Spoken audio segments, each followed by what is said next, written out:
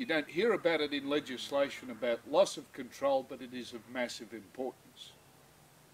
Uh, the other pieces of film I have flying the drones that I have don't show something with the tarantula particularly and wasn't really talked about. That happens to be which way the drone is pointing. This I've painted some red on the two front parts of the Tarantula X6. Now, at a distance, even at 100 metres, I can see whether that's white on one side and red on the other, so I have a good idea where it's pointing. The previous pieces of film that I did uh, didn't show particularly much and it didn't speak about the fact that part of the loss of control when the tarantula went out there was because I didn't know which direction I was pointing it in logical terms of operating the control stick for the direction, which is the right hand control stick. Right, so we're going to try this again using that colour that's been painted on. You'll see that with the uh, 353, the large one, or the V686, they usually come with red and black blades, and you need to check which direction it's pointing. It's no good looking at the camera, it's too small to understand that, and too featureless in terms of colour. So this one doesn't actually matter right now, I'm not going to fly this one. We'll see how I go using the uh, V353.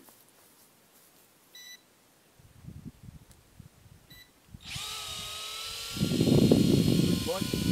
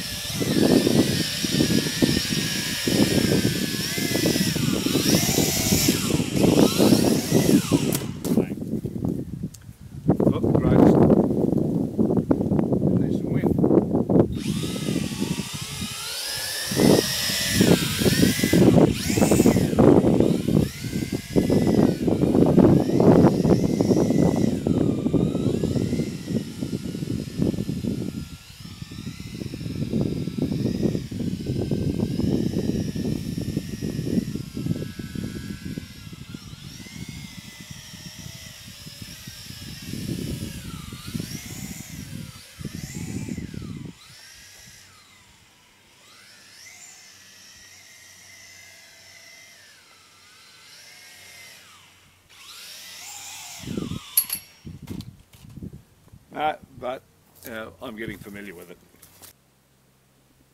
Hello all. This is Nice Phaetog, the old Nick. Nice Phaetog was my old name. Today this is about drone legislation and the reason in Australia and the United States that they slap massive restrictions on these things. These things here are three types of drones. This one here is a toy drone, it's a V686. It's very small compared to the uh, 353. Uh, you can see there's twice the blade area and uh, around twice the length of blade compared. This is about three or four times the weight of this smaller one. There are some problems about drone legislation. That the reason it was formed in 2015, a new set of legislation in Australia occurred, and these devices were required to fly no closer than five kilometres from an airfield, no more than 100 metres in height, and uh, the reason why, for the main point, is that various people either suffered damage or injury from out of control drones. Unfortunately, legislators are a bit of a swine. Uh, they don't play with these devices, they don't use these devices for any purpose. I got this for searching for bees in forests. This is the first drone I had that I tested and I found that even in a light breeze it comes out of control. And that's mainly what they're worried about. Now, yeah, there are idiots that will fly a drone at an aircraft or try to fly it past an aircraft, but the main problem is that people being injured by these blades when they spin uh, has the problem that the device, when it's out of control, uh, can cause damage and injury. One more feature of this is there's a building behind me, 30, no more than 30 metres from a building. That's really a suburban area urban rule. There's no great point in it, in, in obeying it out here on a rural property. However, there is an airfield about three and a half kilometres away. Um, but one more feature about Australian law in terms that US don't particularly have is this device here when I got it has FPV. It means the camera um, operates with this type of controller and that's an FPV screen. That means it's first person view, you can view what the camera is showing while it's in flight. Now there is a problem in this, is I don't consider FPV a heck of a lot of help uh, except flying up and down trees with a, uh, a good camera. So the trouble we have here in Australia is that legislators couldn't care less what they did to stop some things. That uh, a person was slashed by blades from a device like this, whether it was octocopter or quadcopter. It was a drone, one of these electronic devices that are radio controlled. And the main reason at all times is these devices aren't particularly controllable. Or are they? This isn't.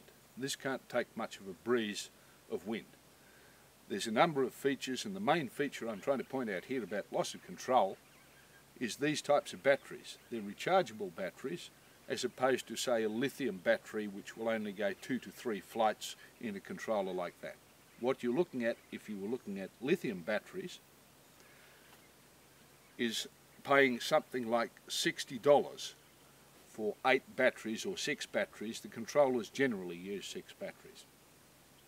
They're throwaway, you'll only fly twice with that safely after a point the aircraft, whether it's this size or this size, goes out of control. So there is the problem that unfortunately, unfortunately these things are a bit expensive unless you buy rechargeable batteries. Now the trouble with rechargeable batteries of course is would they cost? Well, it depends. There are some on the market that are not particularly expensive, but these you can import from eBay or AliExpress for about $10 a set. Just a bit of a change in the film here. Um, as you've noticed, some batteries are missing from there. The camera ran out of fuel on it. And these things here are ordinary batteries. They won't do for a controller. Never use them in a controller, always use rechargeable. Rechargeable batteries, whether they're even lithium, it doesn't matter. Don't ever use lithiums in there. It's too expensive and you only get two flights. This thing here is a rechargeable battery from China, the same place the drones come from. It's 3000 milliampere hour, that means 3 ampere hour. They charge to around about 1.8 volt. It takes about three or four hours to charge them on one of these types of chargers, they seat, you can get them on eBay or AliExpress, they seat two batteries, one on either side. The mid one is for AAA batteries, so you can effectively charge four batteries. But they have this feature here, which is a little bit dangerous. Um, that's a sort of a UK pin converting to an Australian. Uh, the pin down here for a charger, however, that's a round pin, that's a European one, and there is an adapter for that I haven't brought out to adapt to the Australian power supply. But they're all around 230, 240 volt uh, is uh, the, the, transformer or the MOSFET down uh, downgrades it to uh, 1.5 volt or 1.8 volt. So when these batteries are, are full, they're around about 1.8 volt. That's the type you use in here. Those will run for about 10, uh, about 10 sessions.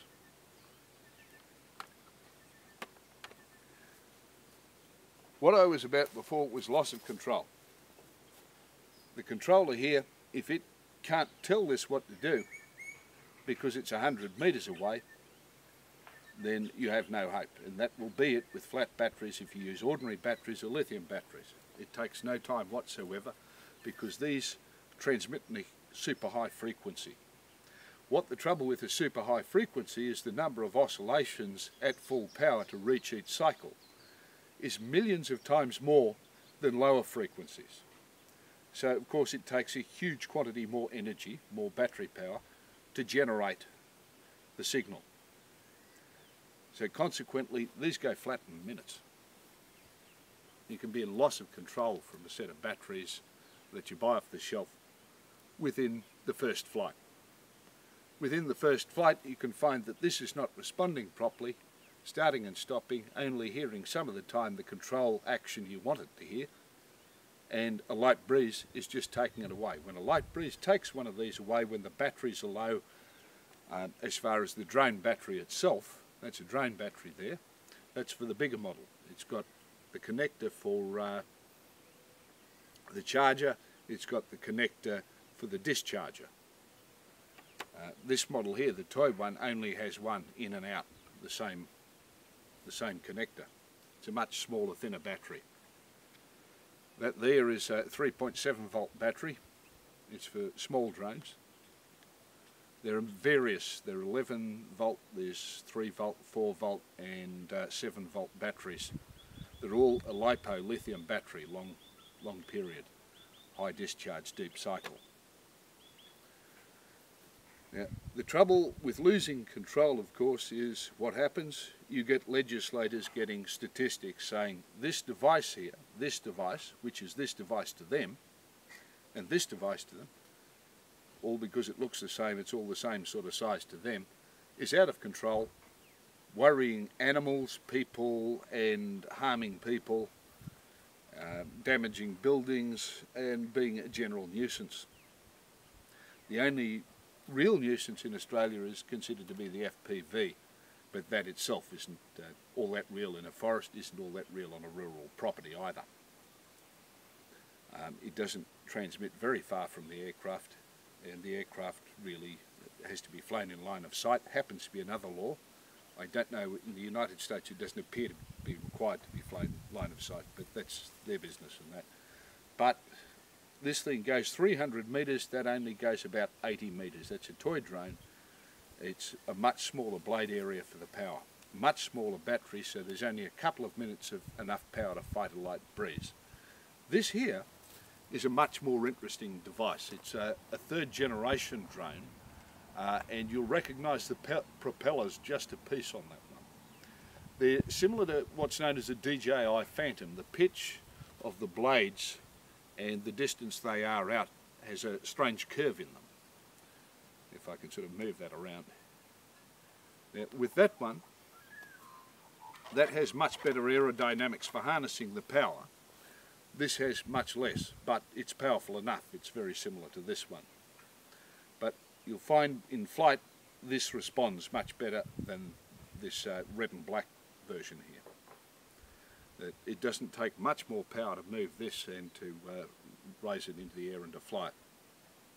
This actually you need to apply power with. These two are about the same weight, that's a derivative of that.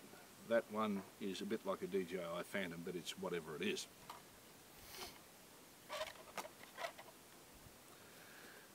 In effect, that one there is a toy. In effect, this one is some form of professional drone. It's really in between a toy and a professional drone. And the main thing I'm trying to point out here is that this type of propeller here is uh, like fuel efficiency. It operates much better. This one here, it operates better than this one only because the propellers have a much higher blade area so that it works much better. This is a much fatter battery and a higher voltage than this. So there's much more power in the larger battery there and it goes inside these much larger in-between drones, in between professional and in between uh, a toy. That's a toy drone. That there is almost the trouble. The main feature of most people crashing happens to be using it in an unsensible place and not understanding that a toy drone doesn't have much power. Until you have something like the power and the abilities and the battery power of one of these, this is a tarantula. It's like I said, it's a third generation uh, drone. Once you have the power of something like a tarantula there, which is twice the size of a toy drone, it's not a mini drone. A mini drone is about a a quarter of the size, even a tenth of the size of a, a toy drone. Then you have the power to fight light wind. This one will in fact fight light wind very easily. This one fights light wind as long as you only go up into it for about uh, three to five minutes with a, a full battery. And that's another feature of losing control. The power supplied to your quadcopter comes from one of these batteries. The last half of the power in the battery isn't very good. It should be used for bringing the drone back and landing it. So they say the whole flight can last, say, eight minutes. I'd say about five minutes from that. So two and a half minutes of flight, maybe three minutes of flight, the other two minutes to bring it back to fight any wind coming back. So that you could put that down near you. But that's the main reason people lose control. They don't know some of these features you're going to spend hundreds of dollars just to fly a drone and lose control, such as a toy drone, if you ever take a toy drone outside. They're not much good. You need one a bit like these. And the third generation came along in late 2015, these bigger ones, with particular reference to the tarantula again there. And uh, those were half the price or about the same price of what that was at the beginning of 2015. So that's about $250 um, and with the FPV. That one there was about $250 without any FPV but with a camera and one battery. Right, that there, believe it or not, I got these half price, if any one of them half price. That was about $160. That was just under 200. That was over 200 was with extra batteries. I've got extra batteries in there. That was a different deal. Right? These two don't have FPV. The toy one does. The toy one I wanted to fly up and down trees to see if I could find stingless bees and other bees that were nesting inside the trees that uh, go up 40 metres, some of the very tall trees around in rural areas and forests. Now, with this sort of feature, unfortunately, it turns out that if you want to give your child a drone to fly it outside, don't give them one of these. These at least now are much cheaper and much better and much more responsive. The only thing you will need to understand is you get three minutes of safe flight if there's any form of light wind or light breezes around. That's what the trouble happens to be. Understand that no uh, throwaway batteries, including lithium, will ever do for a controller because it, it chews too much. You must have three, three of these types of recharges so that they seat two AA batteries each so that you can put six batteries in there with 3000 milliampere hour, that's 3 ampere hour 1.5 volt batteries just like these sorts of things. That does for a point that it's 1.5 volt. No one tells you these things, so everyone that's been creating the statistics has been going out with these throwaway batteries and it's been out of control after the first time.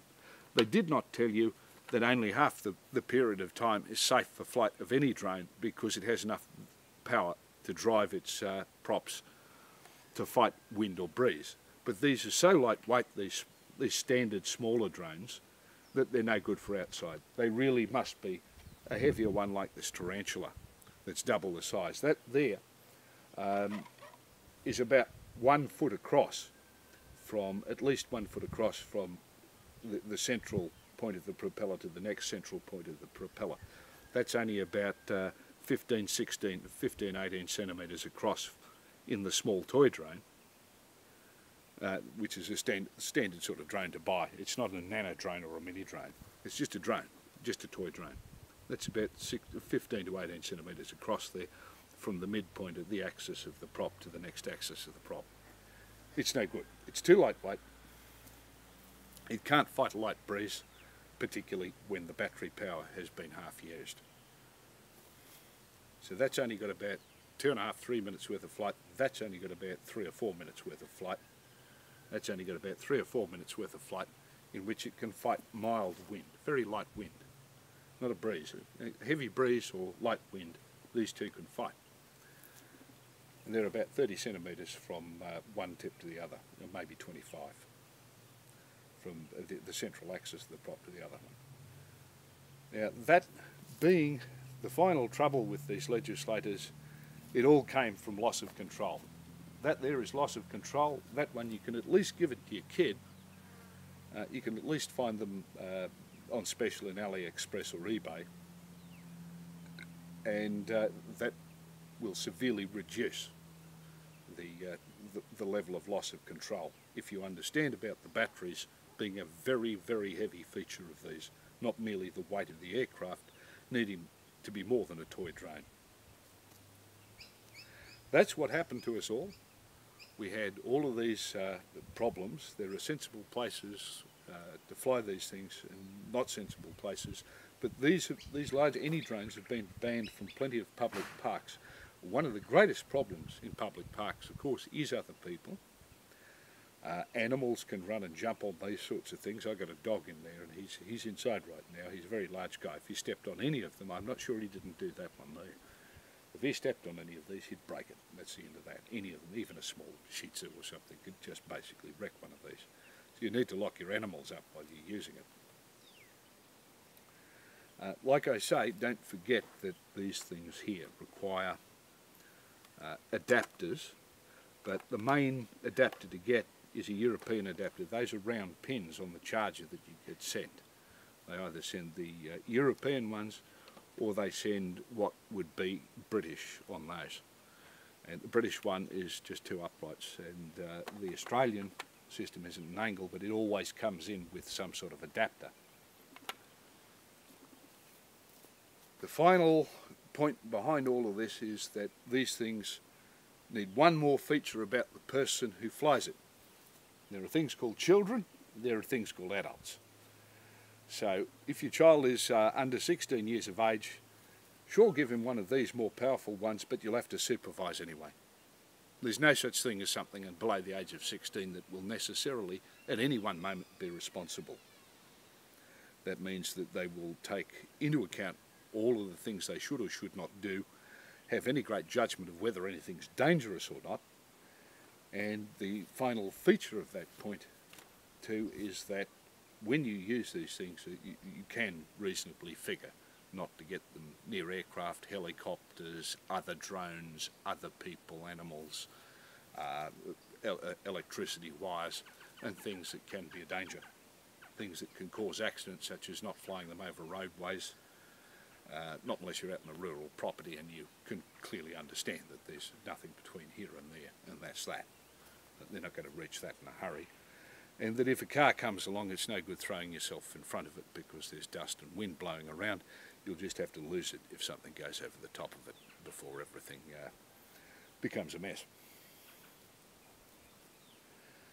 The final point in all of it is that that is all the legislators thought of. This thing crashes. Loss of control is up to uh, the person flying it there are ways of understanding these things won't be out of control, such as understanding whether they can handle the environment they're in. Um, because they're more of an outdoor machine, these are too light. No one explained that. No one explained that you are better off buying uh, from eBay or AliExpress a large wad of uh, 3000 milliampere hour, that's 3 ampere hour, 1.5 volt AA batteries for the controllers, and some charges, three charges, that's just over $30. Uh, and that sometimes comes with batteries. It depends on the deal you get when you look on eBay or AliExpress. The batteries generally are given as a deal, at least one battery with uh, the, the device. It's better to get a deal where you get three or four batteries. And you get a charger too. And uh, to understand, you might need an adapter for the charger and you will tell them what sort of pin. That's a European pin, that round one. They're easy to find a uh, an adapter for in a supermarket uh, that will adapt to whatever version you, you require to plug in.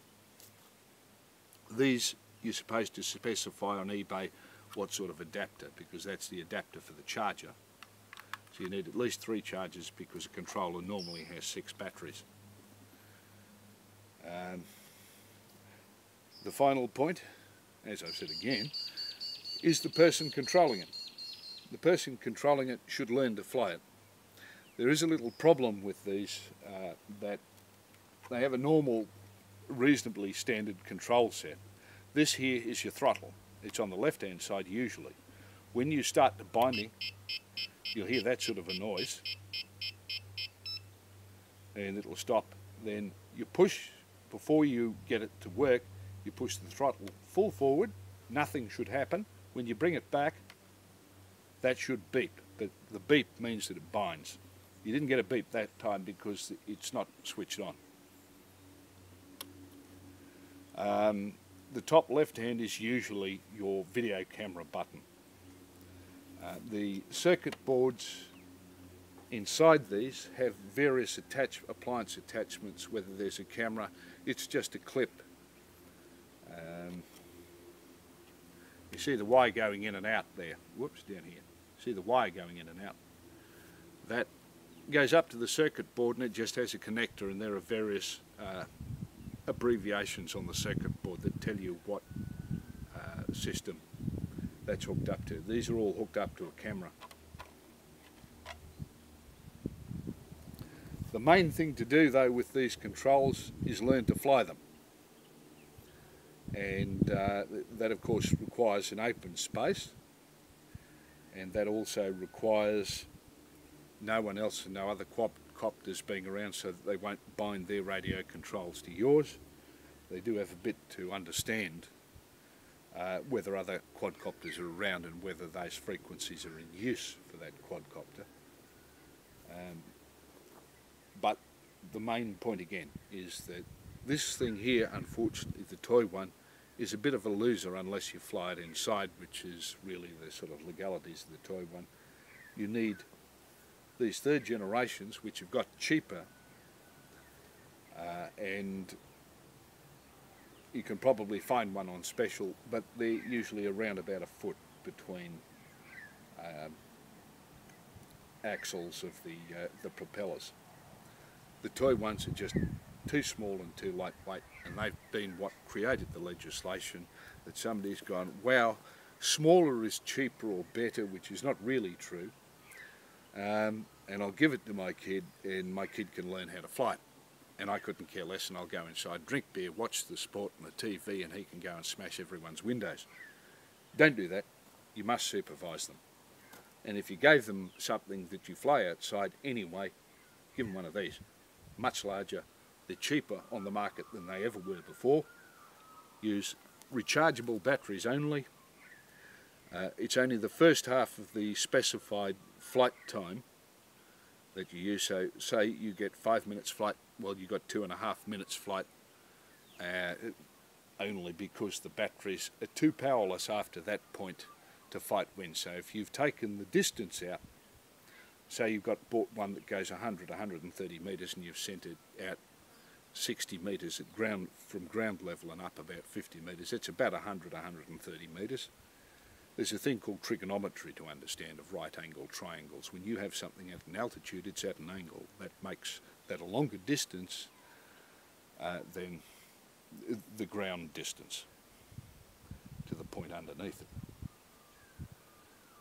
All those factors need to be understood.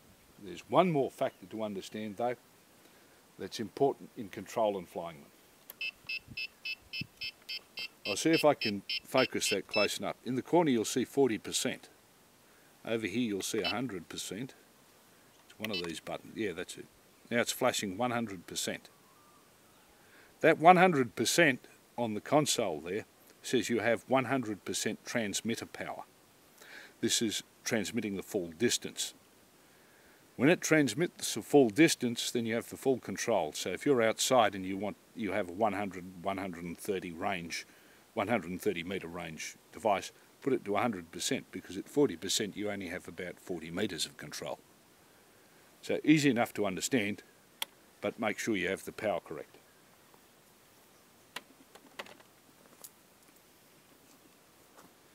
That way, you can at least have the slightest chance of these types of things not going out of control. So they don't really matter. If someone sees an aircraft, they generally don't want their quadcopter wrecked. They want to fly it somewhere else and have it some other day. So they'll steer it away from the aircraft, but you can't do that until they're big enough and heavy enough to fight wind. You can't do that if you can't control it because you have no charge in your batteries, whether it's the quadcopter battery or whether it's the uh, rechargeable batteries for the controller, and the power of the transmitter needs to be at 100% so that you can bring that back from the range that you were told is the transmission, final transmission range for the, the furthest distance you can take your quadcopter from the controller. So the, the main point after you understand these things are all possible to totally control properly, the final one is learn how to fly it. It is a bit difficult, and this one here, with its propeller system, responds much better. That's very similar to the DJI Phantom uh, propeller system. That, that there has much better lift for much less power. That, I hope, has helped you in understanding why you crashed your quad quadcopter why you crashed your quadcopter and why your quadcopter didn't work and why we all lost these things. About privacy and cameras, well, the only reason for quadcopters often is cameras and a good view and a good pic. And uh, that's about the only thing you can really put on a quadcopter in this country. I wouldn't say some things matter much if they were, they were there or not as an attachment. But the trouble with them really happens to be that that's, that's a different issue. It's like the issue of mobile phones and whether anyone films incidents in public. Um, that's up to, some of these things are a piece up to the discretion, but they totally ruined these without, in legislation, without understanding. That's a toy that has problems. No one told you about the batteries, no one told you about the transmitter range buttons, no one taught you how to control it, which is not all that difficult. no one told you about how batteries discharge as far as the heavy deep cycle lithium uh, specialist lithium battery. That is the only battery you can put inside the version of quadcopter that you have.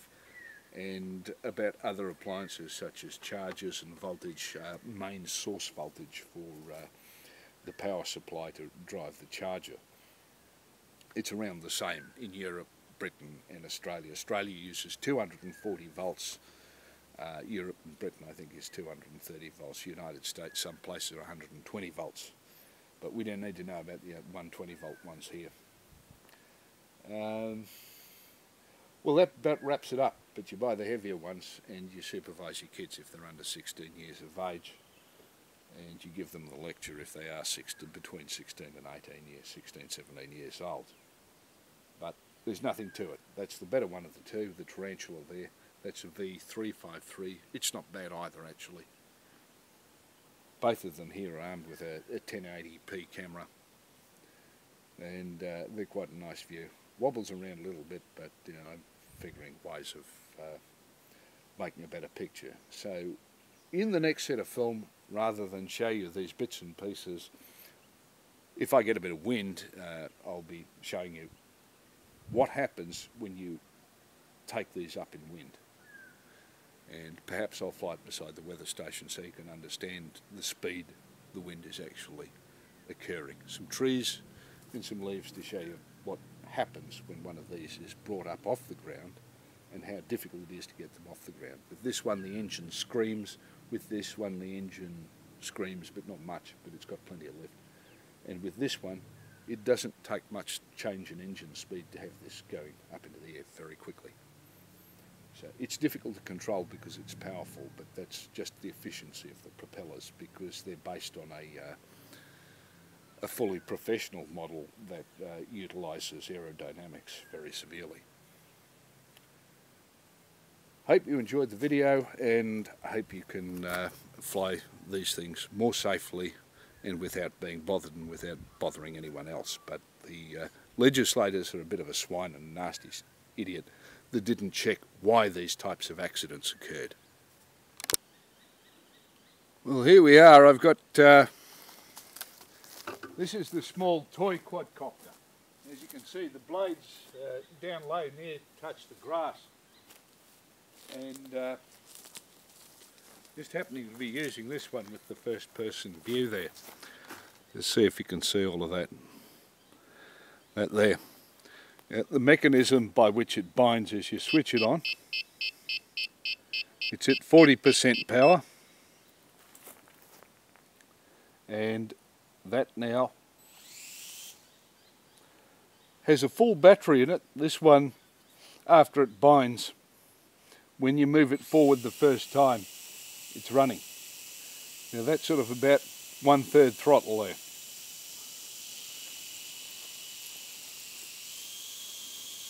Now we've got no breeze and the weather station up there might be able to be seen through the tree leaves but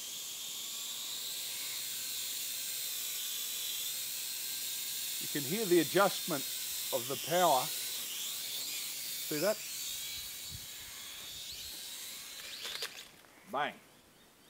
You don't know where that one ended up, but that's that's fine. That's what it's all about. So that so there is a light breeze around.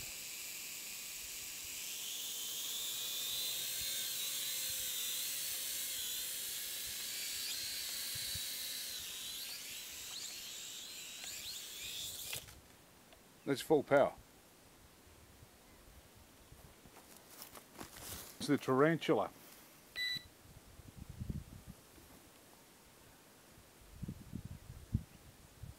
Let's move that forward on the control. Now it's ready to start.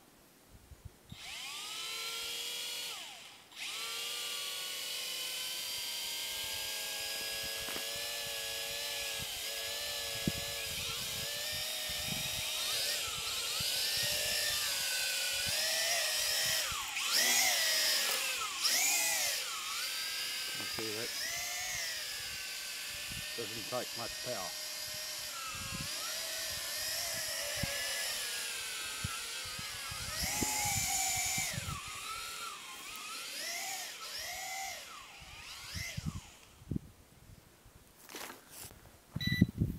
So with the tarantula, move it to full 100%, bring it back and it should beep. Now we've got that sorted out.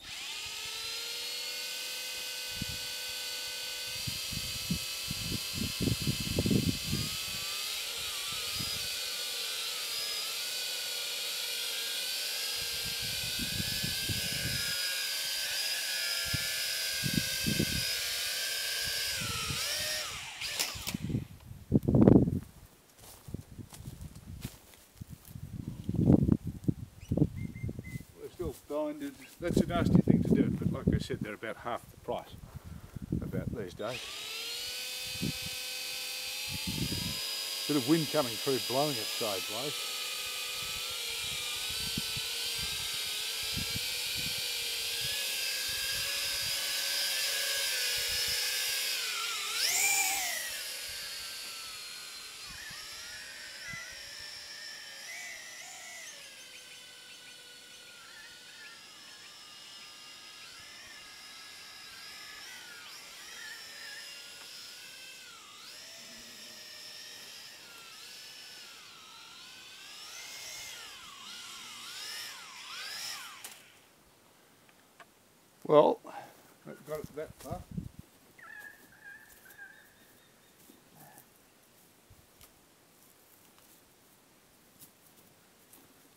Take number 5379.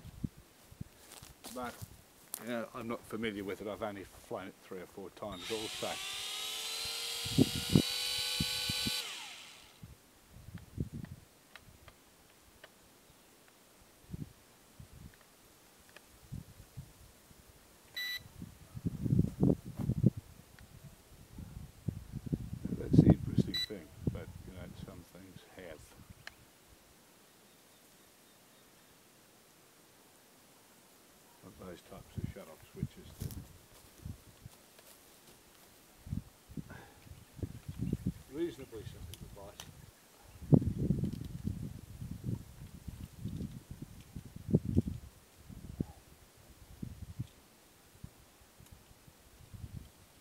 Very crudely and fundamentally and quickly performed. There it is again. There it is again.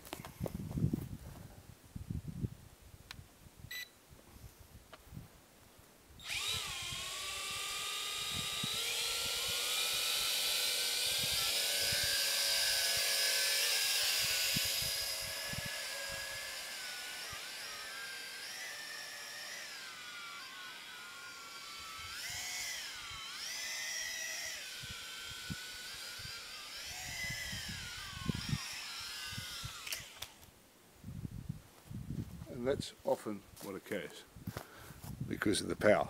Now that's much more powerful that one and it's a great way to end the point. It takes quite a bit of space and uh, that's the type of problem. Now, that's doing that during wind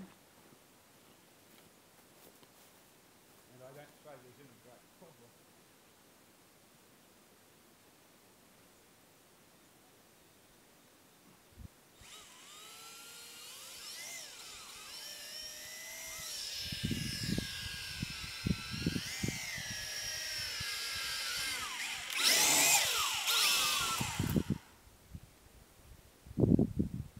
No, not the greatest landing, was it? But that's the type of point to it.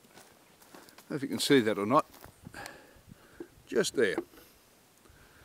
So it is much easier to control that tarantula there.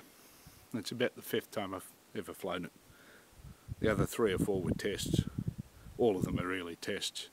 But that is the type of power that you uh, don't even get anywhere near inside the other inside the toy drain. Okay, well, I'll get around to the next. Now we have the uh, V353. There the binding.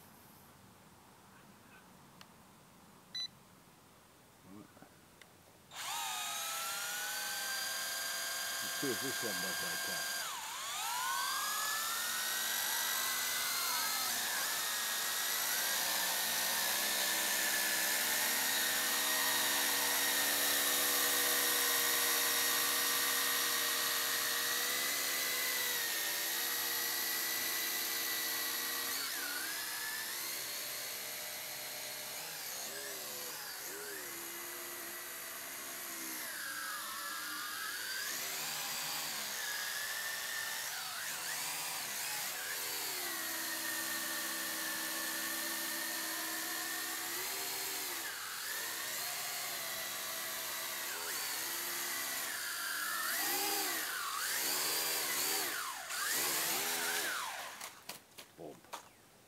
Not the best, but it is a little bit easier to handle than the tarantula.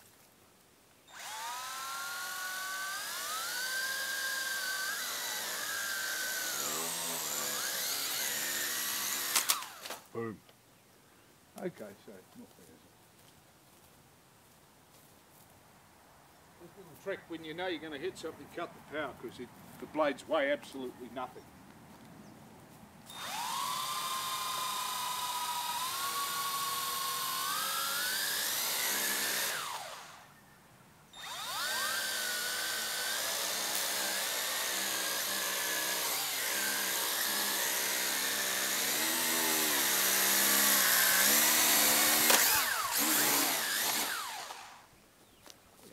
It's not very easy to take off with all those leaves there.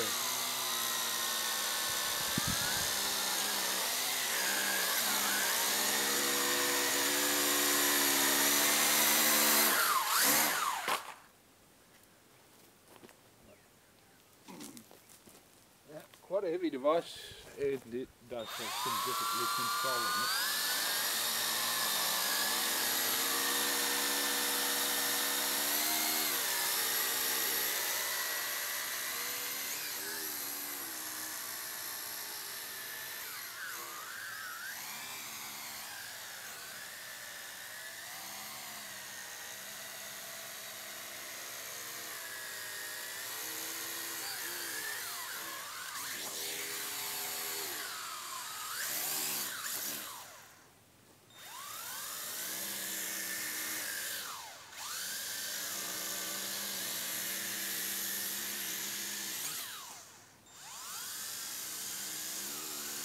Some of that problem there is due to air pressure.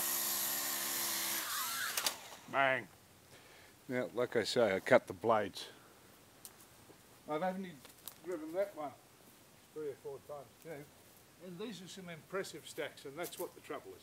They're very difficult to control, but if you thought you'd get that out of a V686, then think again. It just is too lightweight, the propellers are too small, the engines don't beat fast enough.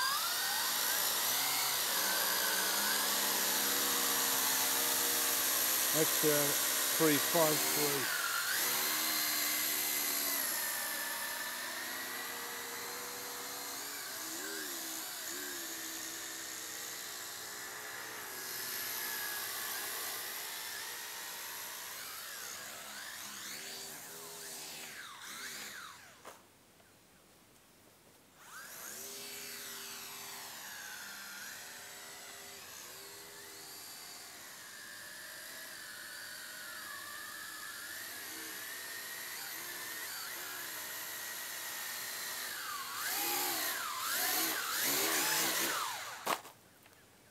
There you go. Bit of a dump landing, but that's it. Okay, here we are again. One thing I didn't mention about loss of control. Uh, you'll notice that the previous day with the tarantula, it wandered around a piece. That's because I haven't painted a couple of red uh, sections on the front of it so that I can see which direction it's pointing. Uh, you'll notice on the V3, uh, 353, it has red propellers. And those are usually said uh, in the instruction manual to put them on at the front of it, whatever that might be. You can see that there is a, a central pointing direction either backwards or forwards in these things. But forward relates to the reaction of the machine from how you push the control button, which is the right one. This controls where the the direction where the uh, the drain goes. That makes quite a difference because at 100 metres you don't really know whether you're going to fly forward, backwards or keep going further away. And uh, these colours here up in the air can be seen quite easily. So I now know whether you know, I've got one that's red and one that's white pointing on toward me by the side of it, side, side onto me, whether I've got both red or both white. It's quite easy to distinguish. And we're again here in a not very sensible place. Be flying because there is a bit of light breeze around today which makes it impossible for a 686 but a 686 is really impossible outside. Uh, there are overhanging tree branches, poles, fence, wires, and uh, we'll see if we can get out of here at all. And we'll see if we can fly it somewhere in your sight.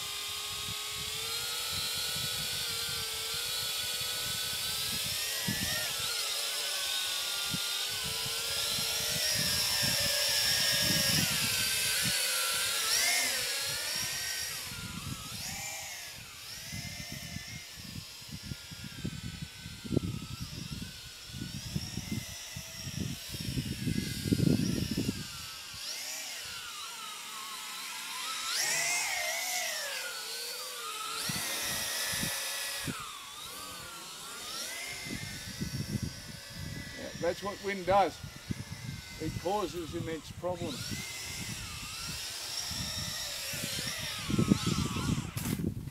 Unfortunately, it causes immense problems.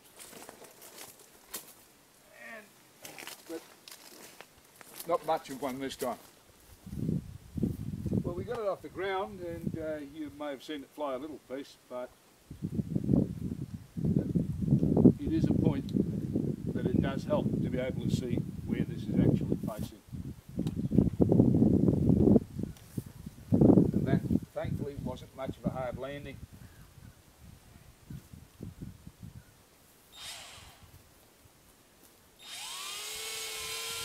Now there's wind coming in in front of it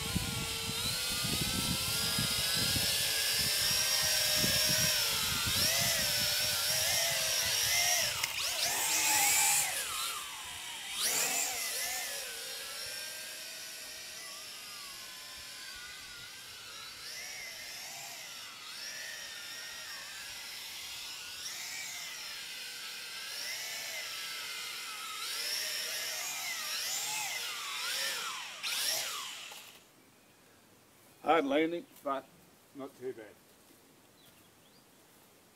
What around here? Trees, wind. Don't think you would have seen much